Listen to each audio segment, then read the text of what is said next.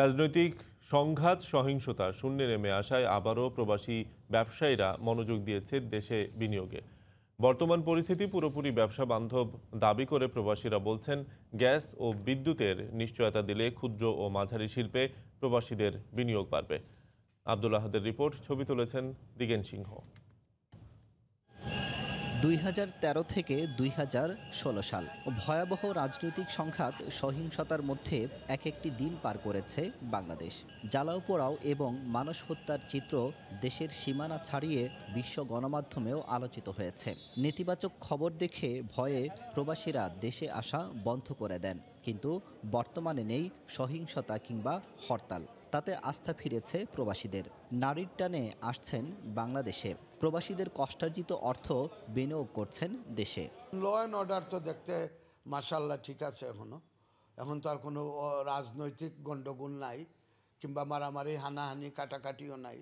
কাজে প্রবাসীরা আবার দেশমুখী হবে। বাংলাদেশে নিয়ে অনেক স্বপ্ন আছে আমরা চাই আগে আমরা করতাম। এর জন্য আমরা যেন বাংলাদেশের মুখী হয়েছি যাতে আমরা এখানে জন্ম। বাংলাদেশের কিছু করতাম। প্রবাসী বিনিয়োগে এগিয়ে ব্রিটেন প্রবাসীরা বিদ্যুৎ, গার্মেন্টস, হাউজিং, সেবা খাত সহ ক্ষুদ্র ও মাঝারি শিল্পে কয়েক হাজার কোটি টাকার বিনিয়োগ তাদের। তবে রাজনৈতিক সহিংসতায় গত কয়েক বছরে বিনিয়োগে ভাটা পড়ে।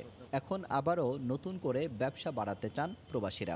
এজন্য নিরবচ্ছিন্ন গ্যাস ও বিদ্যুতের পাশাপাশি প্রবাসীদের জন্য আলাদা স্পেশাল ইকোনমিক জোনের দাবি তাদের।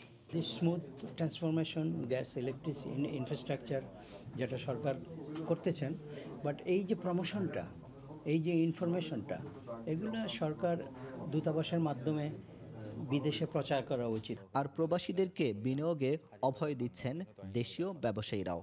কোনো হরতাল জ্বালাও পোড়াও নেই। এটার জন্য কিন্তু আমরা ইনভেস্ট করতেছি বা আসতেছি এবং আমাদের পার্শ্ববর্তী দেশও এখানে এসে ব্যবসা করার চিন্তা করতেছে। এই চলতি মাসে আমরা যাচ্ছি আসামে।